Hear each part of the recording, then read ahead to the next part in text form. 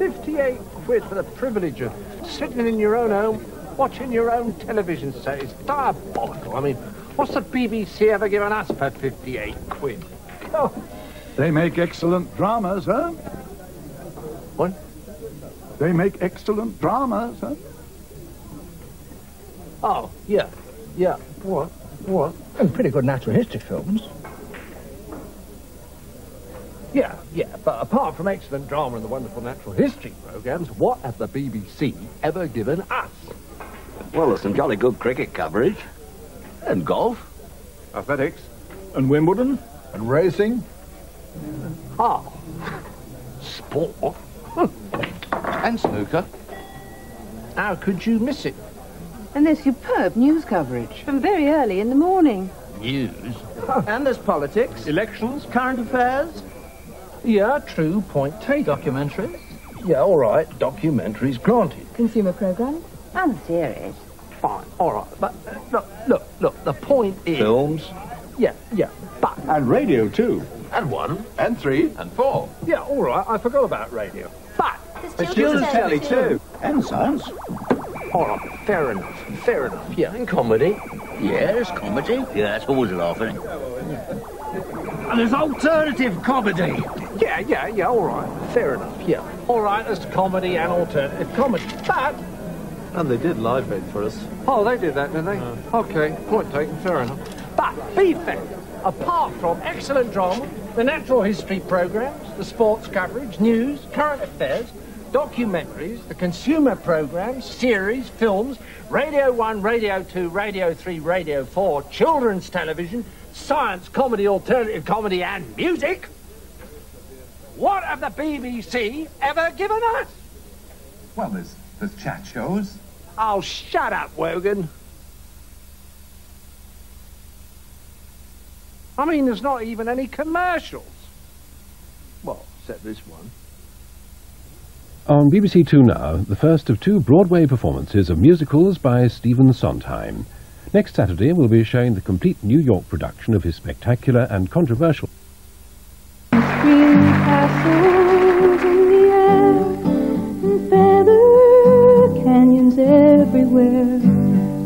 I've looked at clouds that way.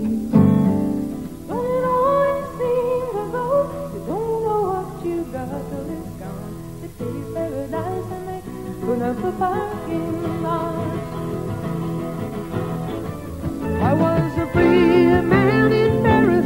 I felt unfettered and alive. Nobody was calling me up for favors. No one's gonna shoot to decide. He got three oranges, three lemons, three cherries, three plums. I'm losing my taste for fruit. Watching the dry cleaner do it. In the dance halls and the galleries. Written in the dream.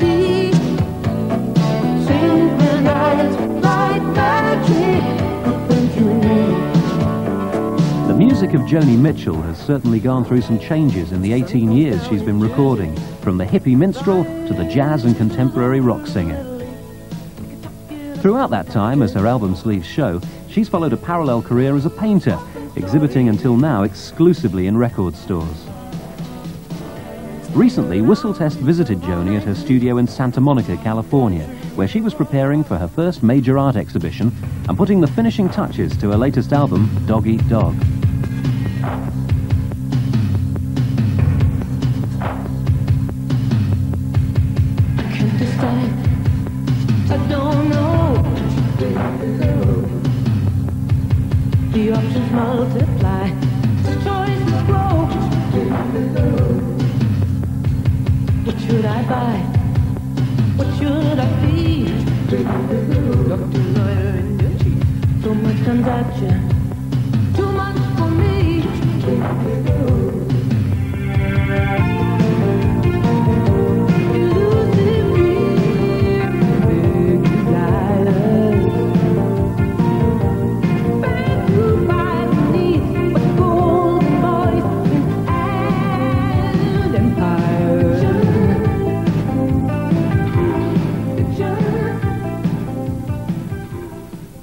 Have you always uh, written your own songs, even when you were very small, or did you did you start off performing other people's material? Um, when I was seven, I, I took piano lessons, um, mainly because I had this urge to, to write music. And recently I found an old scribbler that I had written primitively. I'd written out uh, left and right hand piano for a song called Robin Walk. So I guess I wrote my first song instrumental at seven and a half. And then it was many years until it occurred to me to, to um, write anything. So who were your early influences? Who were the people that inspired you to start writing again? Um, I think it was it was Bob Dylan really, who uh, not during the Woody Guthrie period of his work, but but um, Blonde on Blonde, Highway 61, that period. Um, it occurred to a lot of us then that you could sing the scribblings that you had in notebooks, like uh, the private poetic scribblings. Um, uh, up until the point that, that his work began to inspire me, I, I sang British Isles folk ballads, um, Ewan MacColl songs, Judy Collins repertoire, and at that point was, was it was just a hobby. You know, I, I was a, an amateur folk singer in art college. Moons and Junes and Ferris wheels, the dizzy dancing way you feel as every fairy tale comes real. Oh, I've looked at love that way, but now it's just another show. You leave leave 'em laughing when you go, and if you No, don't give yourself away. I've looked at love from both sides now, from give and take. But still somehow it's love's illusions I recall. Oh,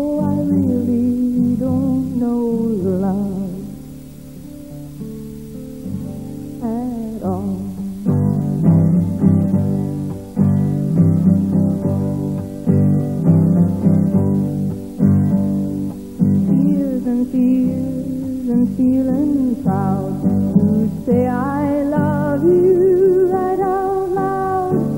Dreams and schemes and circus crowds. I've looked at life that way. But now old friends are acting strange. They shake their heads, they say I've changed. Well, something's lost. But something's gained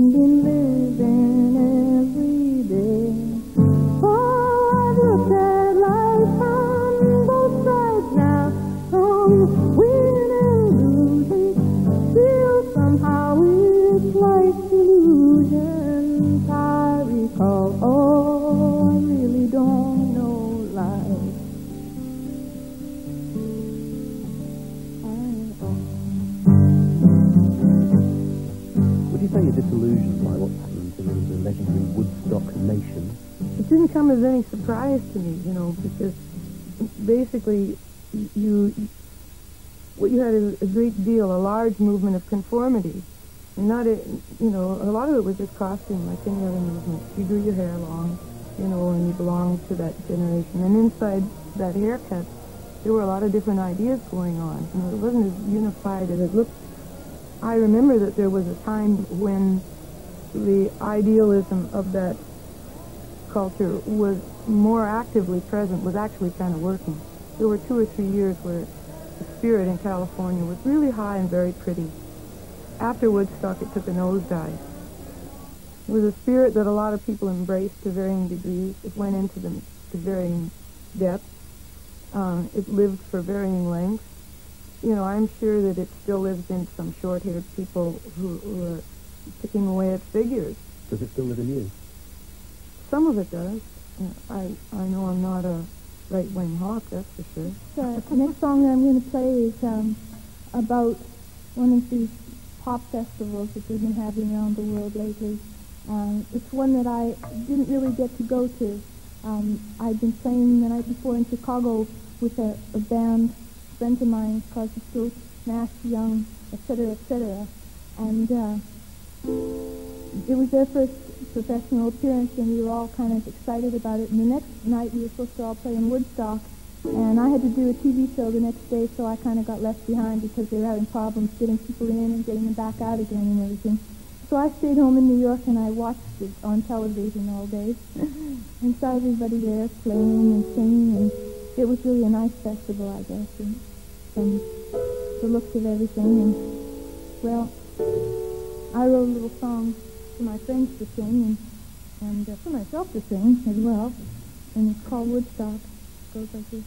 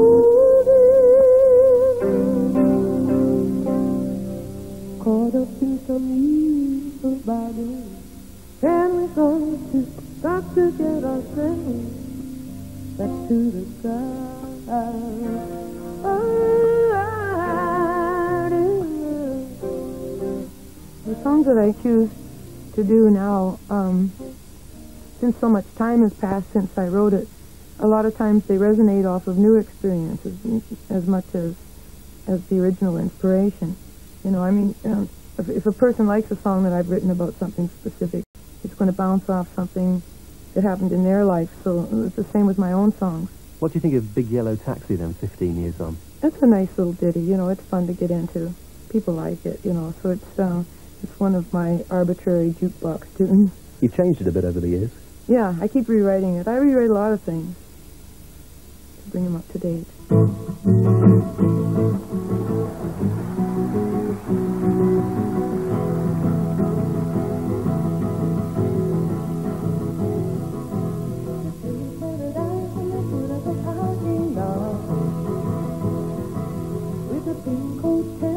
boutique and a swinging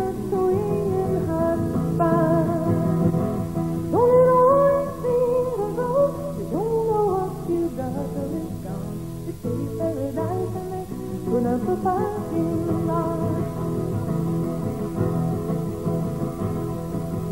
It's upon the tree, put in a tree museum.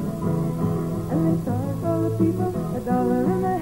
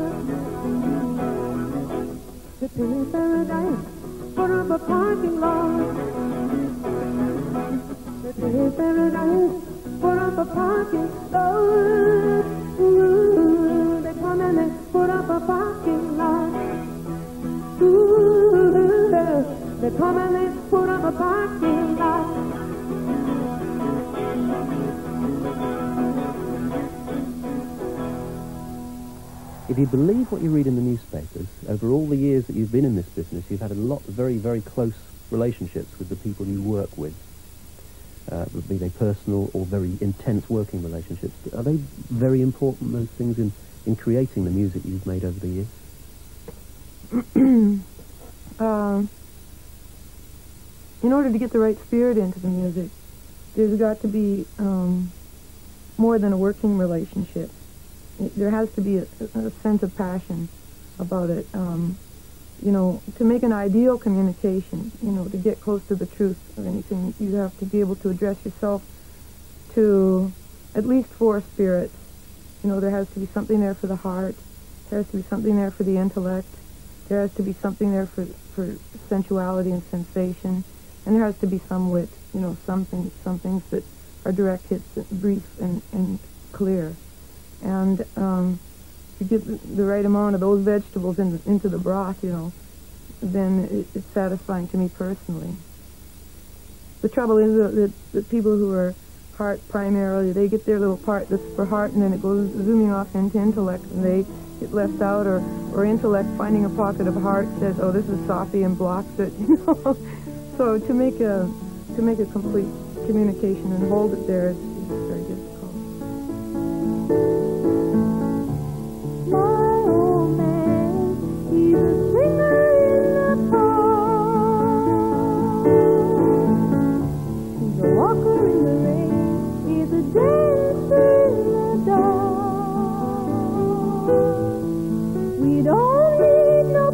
Paper from the city hall. Keeping us hiding through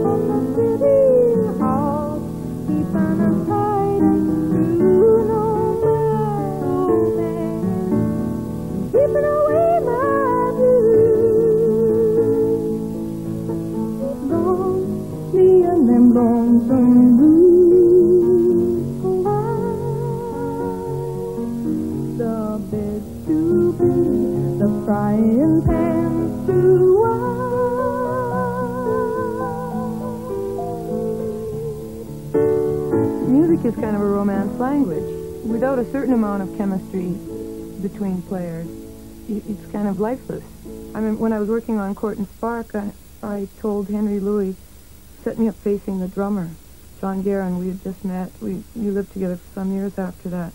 But he just, he had this look in his eyes, you know, when he played, you know, and, and I said, you gotta set up the vocal booth facing the drummer because he gave me this um, fiery support, you know, and it pushed the music to a level that wouldn't have uh, otherwise achieved.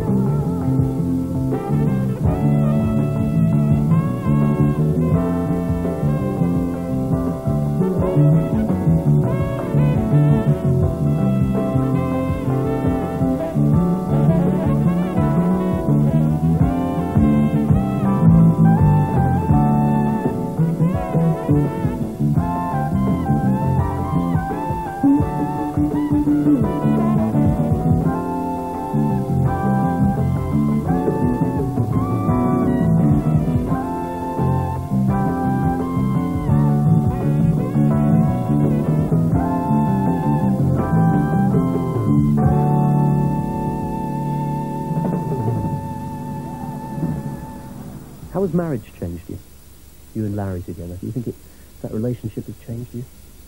Oh yeah, I'm a little more settled. You know, being single is restless business. You're always prowling about. But you are a restless spirit, isn't it? That is Joni Mitchell. Well, I like to travel, but but he and I travel very well together. Um, we're good traveling companions. We have terrific fights, excellent fights.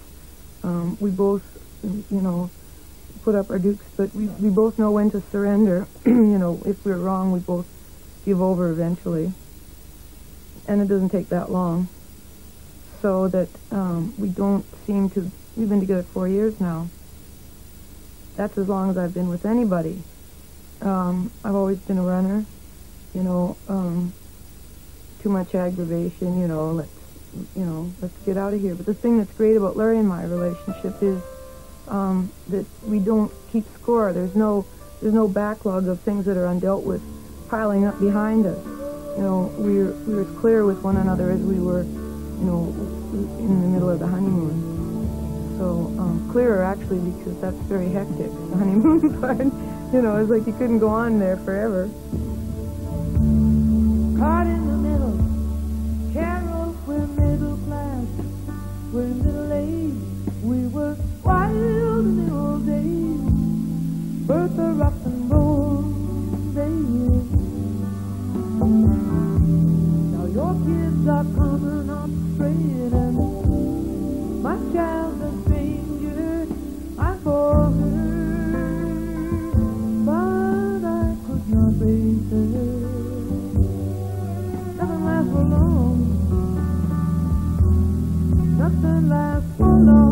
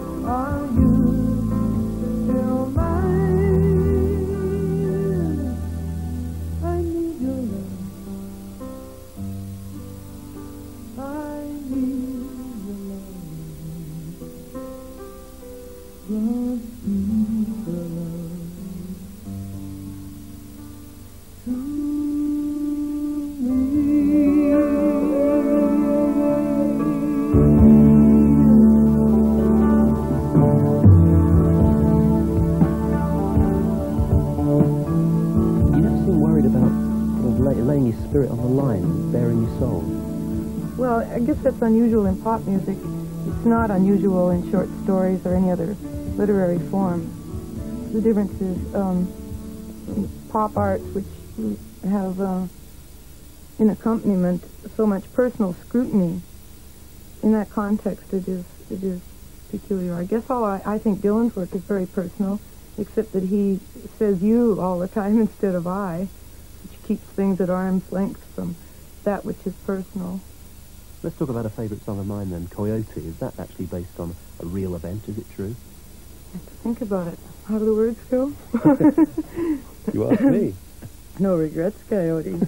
um, that that has a certain amount of autobiography to it, definitely. hmm I always think of it when I think of the song now. I think of, of a coyote chasing a mouse around because when we did a video years ago, that's what we used to illustrate it. So now I, I, I don't think of it as being me at all, but as this coyote chasing a mouse around. No regrets, coyote. We just come from the different sets of circumstance. I'm up all night in the studios and you're up early on the ranch. You'll be brushing out a fruit while the sun is ascending and I'll just be getting home with my roots to real. There's no comprehension. Just that close to the bone and the skin and the eyes and the lips you can get. Still feel so alone.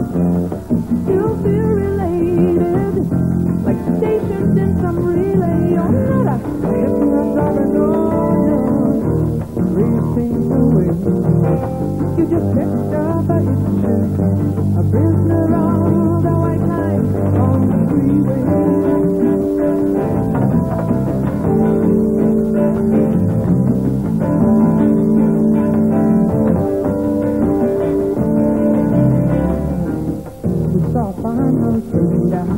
in the middle of nowhere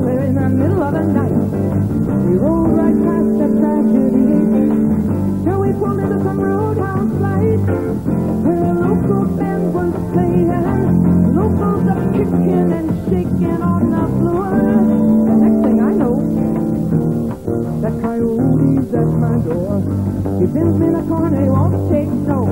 He drags me out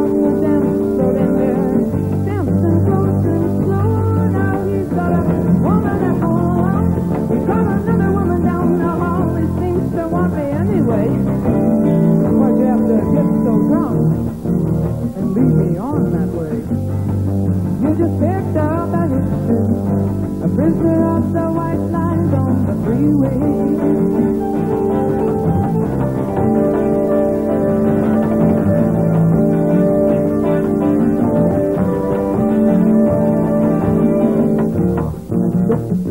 right in the face on the road of El Jenny my old hometown. He will run through the whiskeries, chasing some down. A hawk will play in whistle.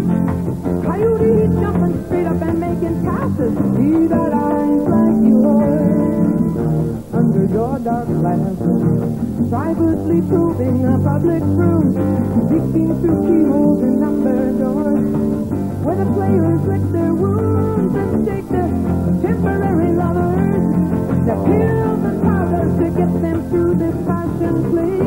Oh, no regrets, coyote.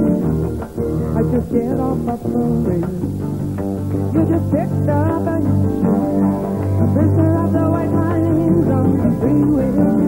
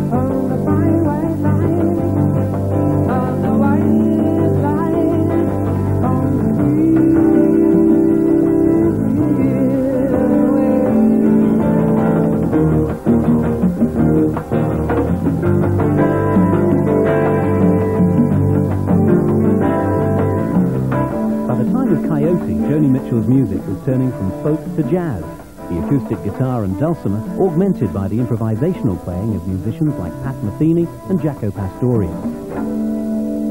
But in 1979, she surprised even her most loyal fans with her free-form tribute to the legendary Charlie Mingus. At that point, I had gotten used to being a cottage industry, you know, sitting in kind of comfortable obscurity. From from the time that Hissing of Summer Lawns was released, and it was described that I had entered into jazz, which wasn't entirely true. The jazz community didn't see it as jazz. It, didn't bear any resemblance to jazz forms. Um, I was in a kind of a no man's land as far as programming went. Um, You mean being played on the radio and things like that? yeah, Yeah. it didn't it didn't slot. You, you know, pop music now has opened up to embrace some jazz coloration still in the pop context, but then it it didn't. So by the time I got to Mingus, um, I was used to disappointments. You know, Hissing was the worst. After that, you know, you just said, oh.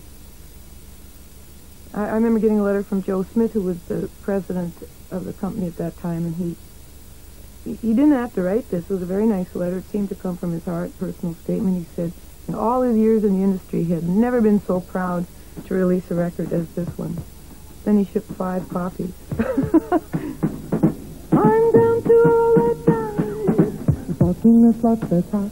I keep hearing bells all around me. Jingle in the lucky jackpot.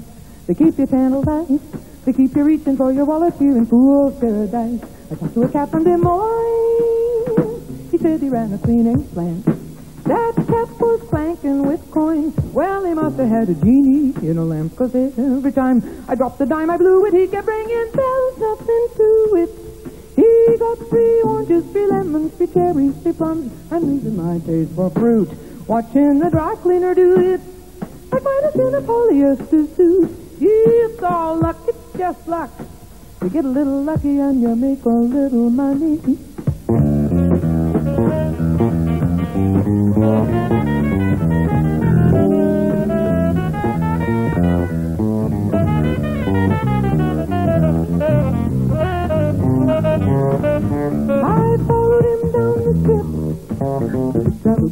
Circus circus where the would fill the room with their big balloons. The cleaner was pitching with perfume. He had eagles and blue bears and lions, pink and blue there. He couldn't lose there.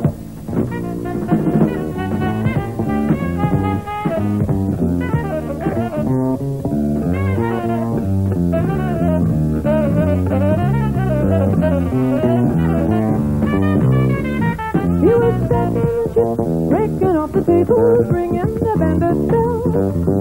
story that the could tell. In some places I lost every dime I laid on line, but the cleaner from Des Moines could put a coin in the door of the and ready for one. Just like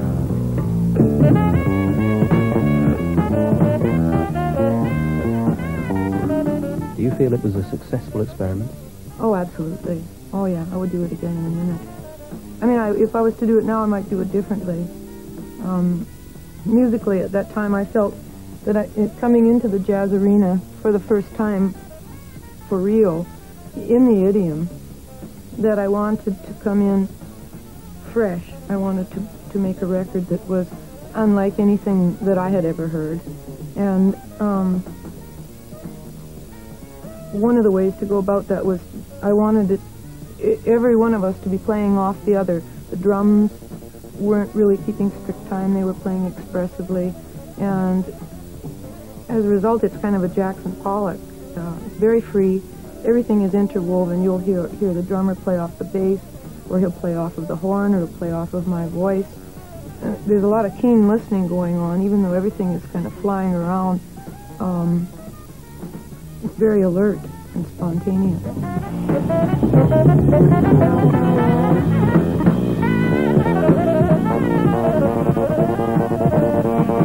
Thank you.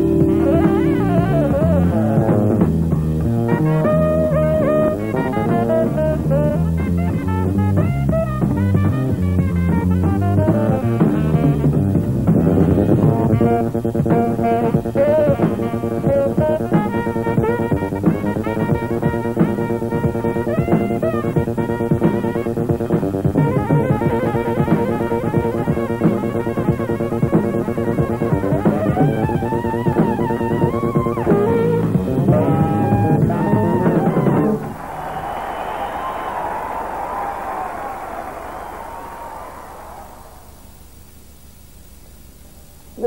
Applied very thickly and wet, and after a throwing stage, then I score it with the tip of a brush, the back end of the brush.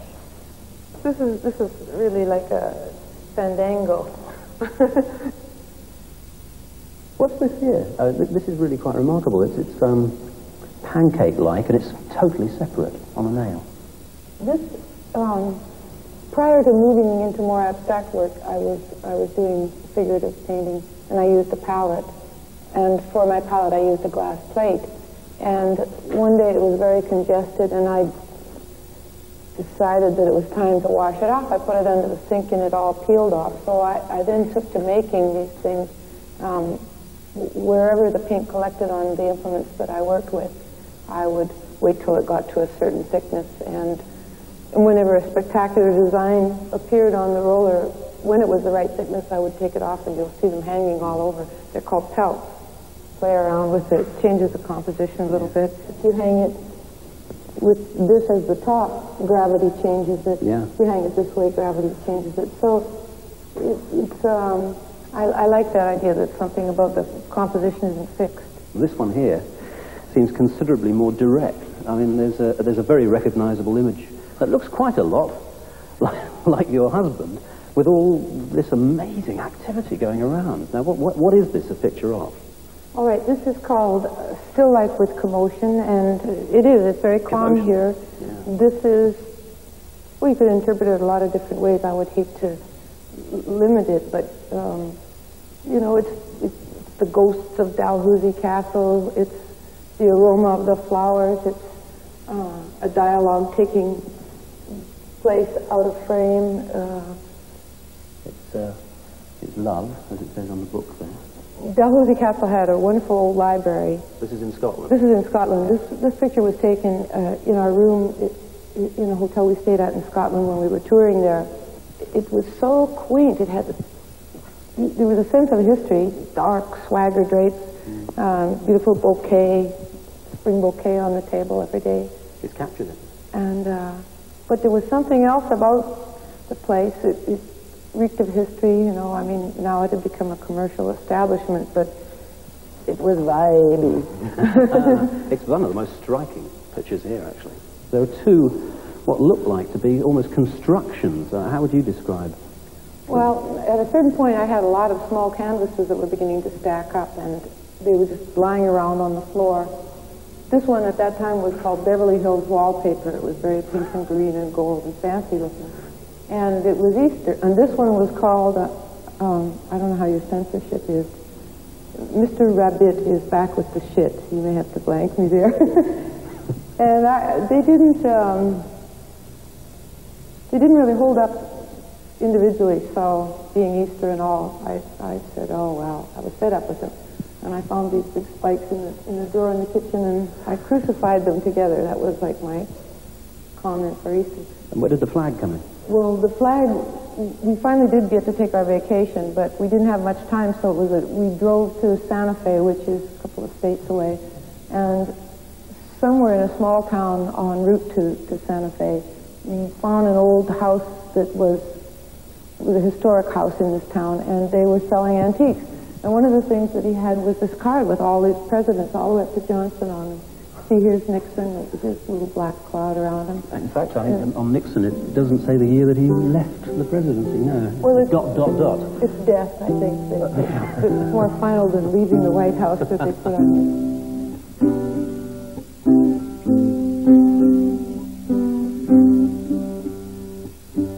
Oh, I'm a lonely painter. I live in a box of pain. I'm frightened by the devil, and I'm drawn to those ones who made a afraid. I remember that time that you told me you said love is touching souls. Sure, you touch mine 'cause part of you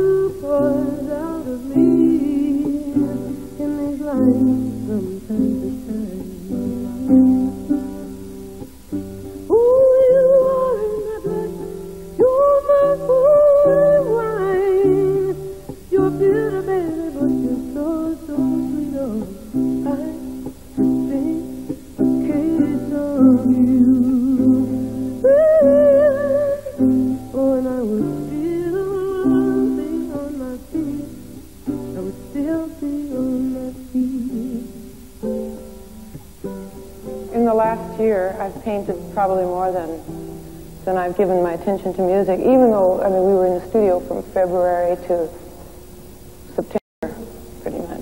All that time I was painting. It's a different headspace.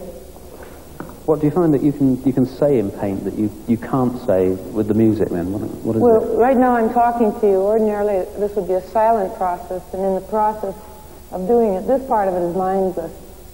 You know, I'm just wind blowing leaves around, things falling off of things. This part is absolutely random and doesn't. T- it's just intuitive. I don't have to look at it while I'm doing it. That's not the point. The point is to get a lot of colors on here all at once.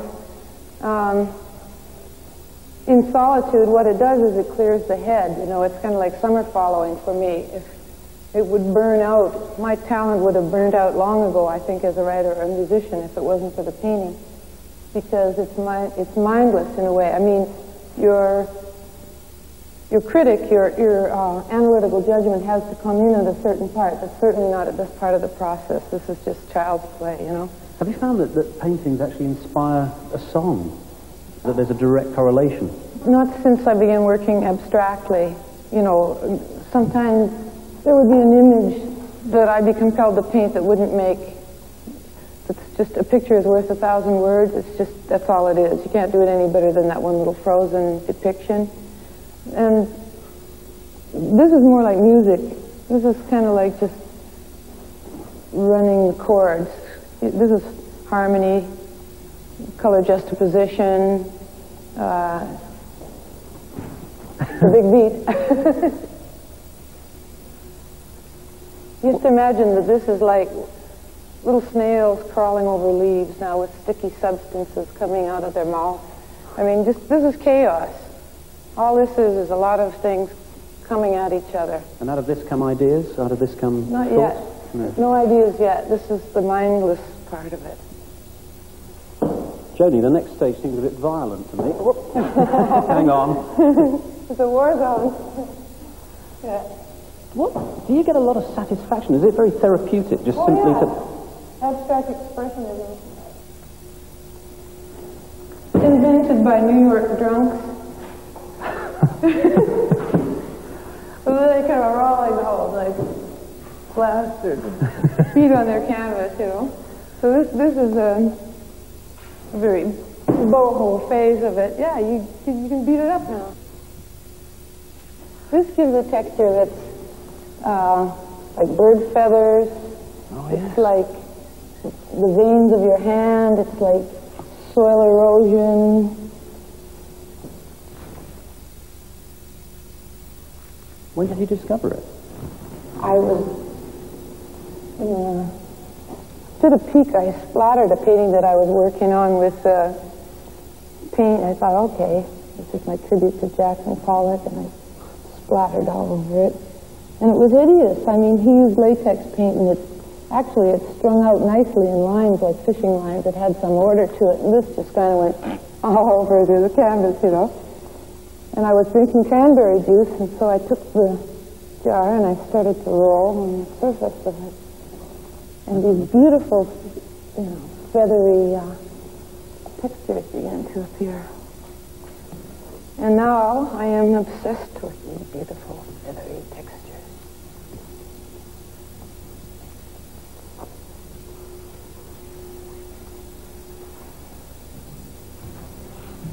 What do you think? Is it a mess or is it a masterpiece? it's hard to tell. Only the great art experts know for sure.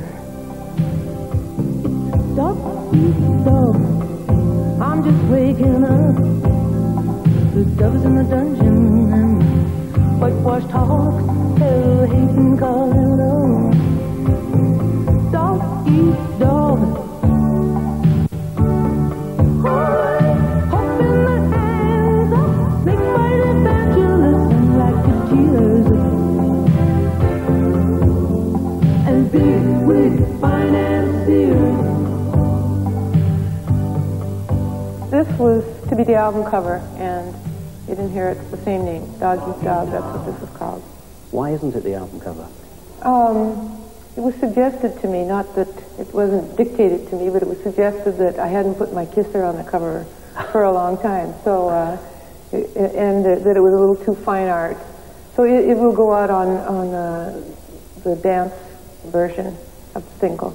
How did you approach doing this? Because uh, it has a very definite form to it, and yet you were saying earlier that you like to work in a very abstract way. It was completed several times. The first completion was a kind of a, uh, well, this was original. Blues, a lot of cobalt blues. There were two dogs down here, but they were very kind of tepid looking dogs, you know. One was a bulldog, you know, a little Winston Churchill looking dog. And um, they just didn't have any ferocity.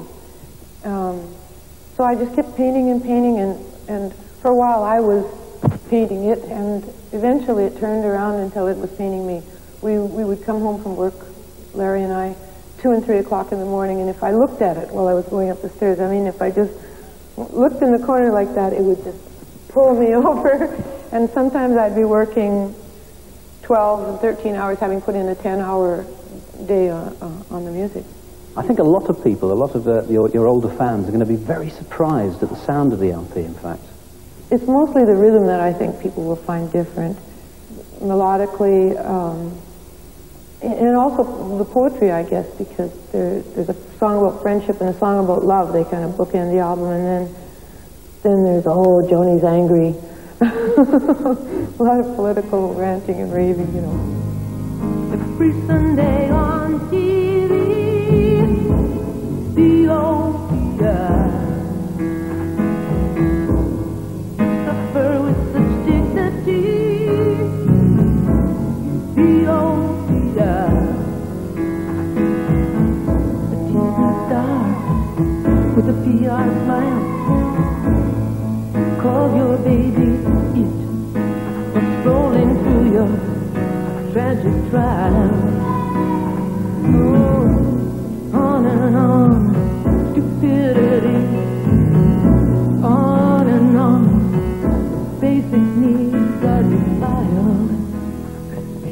album covers, actually, I'm reminded of two uh, self-portrait covers you did uh, some 12 years apart, and I'm wondering what's the difference between the girl on the front cover of Clouds and uh, the woman on the front cover of uh, Wild Things. I think I'm pretty much the same as I was when I was 17 in a, in a lot of ways.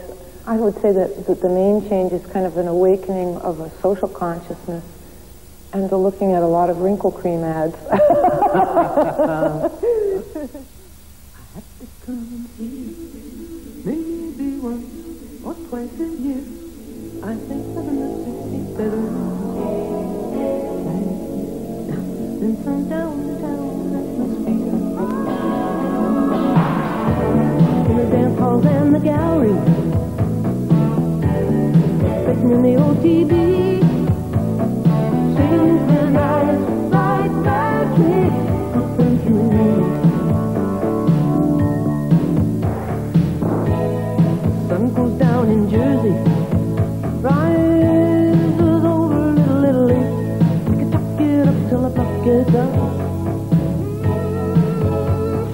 Swapping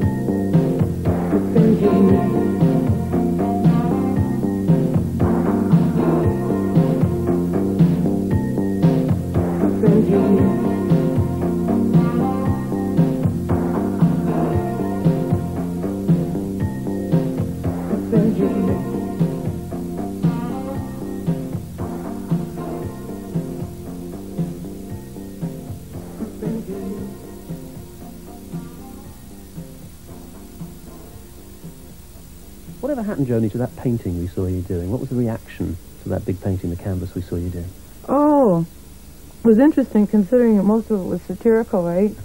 Um, the show went to the James Corcoran Gallery, which is uh, a very good gallery in Los Angeles, um, with a lot of established abstractionists showing there. Now, there, there, there was a bit of a dilettante element accompanying this show. Of course, they would, you know, I have a famous signature, so it doesn't really matter whether I can paint or not. But I insisted that they come down and look at the work. Well, as I entered into abstract expressionism, of course, I wanted to find my own voice and, and do something that was distinctly my own, not to be derivative of any of these people. And um, the most derivative painting, probably of all of them, in my opinion, was this one that we did because it was like was an illustration of the idiom, right? Anyway, I found the people in the gallery coming up to me and speaking of it in hushed tones, "Oh, it's like a degree, you know."